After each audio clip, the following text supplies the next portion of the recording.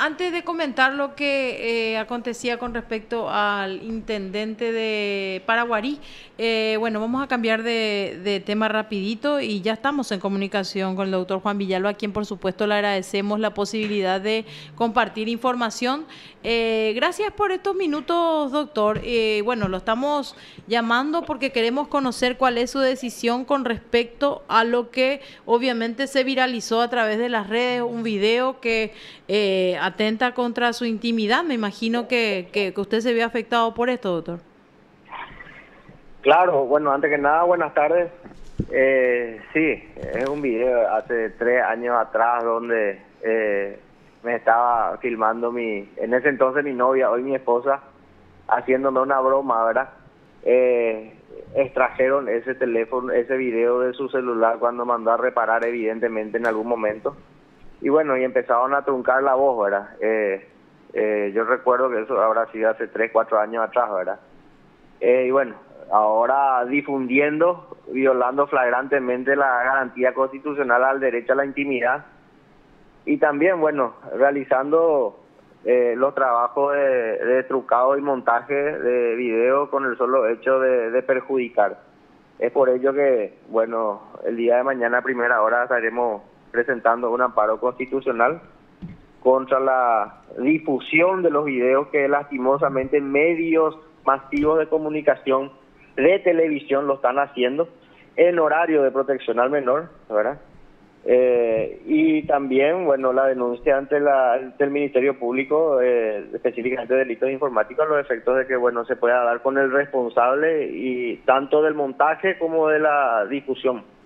Claro, incluso eh, en este sentido usted tendría alguna una sospecha porque obviamente eh, la verdad es que usted en este último tiempo eh, le tocó enfrentar y hacerse cargo de, de, funciones que pudo haber, la verdad, costado o le habrá generado algún que otro enemigo. Así que, ¿tiene usted más o menos la idea de por dónde estaría o quiénes serían los, los que difundiendo este video intentaron perjudicarlo, doctor? Mira, ni idea tengo. Puedo sospechar de todo, como tampoco lo puedo saber, ¿verdad? Claro. Lo que sí, lo que sí te puedo afirmar, como vos bien lo dijiste, lo que estamos haciendo le está molestando a mucha gente. Y es lo que estábamos hablando hoy con el intendente recién cuando corté con él, ¿verdad? Eh, por teléfono, de que sigamos apretando con todo y literalmente me dijo, descarga tu rabia, llevando infractores al corralón para que pongamos en orden el, el tránsito en Asunción, ¿verdad? Fíjate que yo ya he recibido amenaza de muerte, amenaza contra mi integridad física, número de llamadas privadas, números privados, me hayan llamado a, a, amenazar a mi familia, mira, de todo, de todo ya me están pasando en estos días, ¿verdad? Y yo hacía caso omiso, bueno, hasta que se llegó a esto que ya es el colmo de todos los colmos, ¿verdad? Entonces es algo que ya no se puede tolerar, no lo voy a tolerar. No solamente para salvaguardar mi buen nombre, sino también la de mi familia, que es la que está sufriendo. Fíjate, mi esposa ahora está eh, desmayada con un cuadro de, depresión baja en el médico justamente por este tema, cuando ella ni se esperaba que esto pase, ¿verdad? Claro. Y se, se siente culpable, ¿verdad?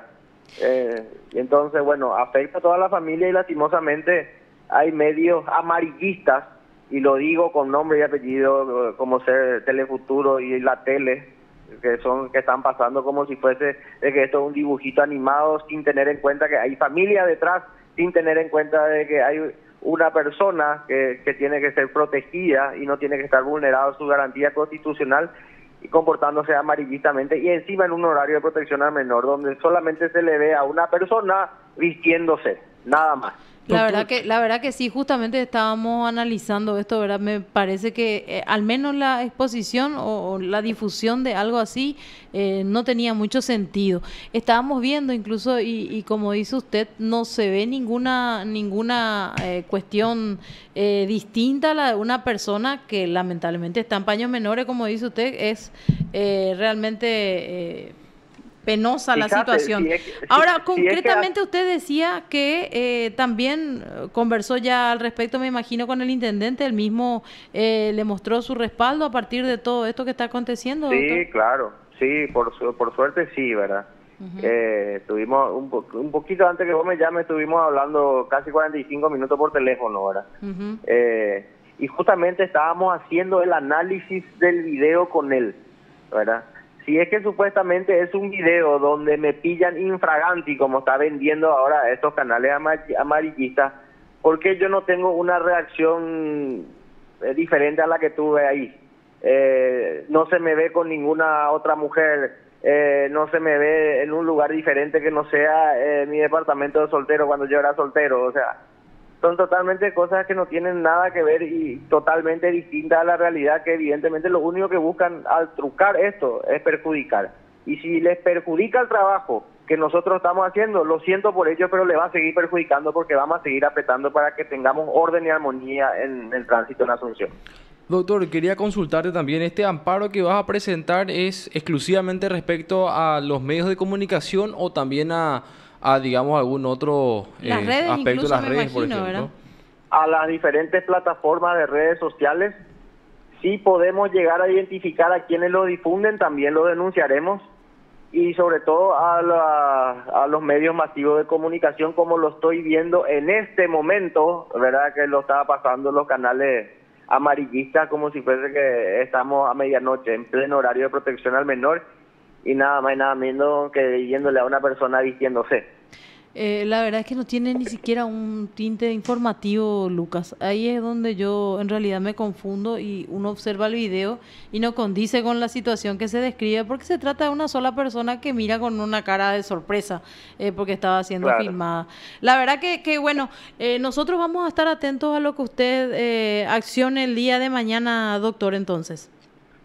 Así mismo, mañana a primera hora, bueno, ya están trabajando los nuestros colegas abogados en eso y bueno, mañana a primera hora espero que ya esté todo listo para presentar esto. Bueno, muchísimas gracias por su tiempo y por las explicaciones, doctor. Muchas gracias, muy amable. Hasta luego, doctor. Usted está escuchando PDS.